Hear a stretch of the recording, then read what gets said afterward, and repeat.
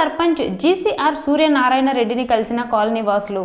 కర్నూలు జిల్లా బనగనపల్లె నియోజకవర్గం కోయలకుంట్ల మండలం సిద్ధార్థ నగర్ నందు ఎలక్ట్రిక్ లైన్ మరియు డ్రైనేజ్ లేదని కాలనీ వాసులు ఉప సర్పంచ్ జీసీఆర్ సూర్యనారాయణ రెడ్డిని కలిసి చర్చించగా సిద్ధార్థ నగర్ సందర్శించి ఎలక్ట్రిక్ లైన్ వీలైనంత త్వరగా ఏర్పాటు చేస్తానని మరియు డ్రైనేజీ తర్వాత పరిష్కరిస్తానని హామీ ఇవ్వడం జరిగింది.